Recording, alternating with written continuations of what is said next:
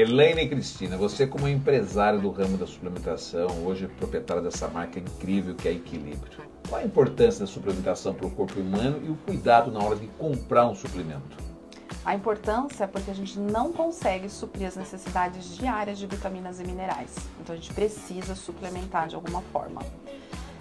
o cuidado que você tem que ter na hora de comprar.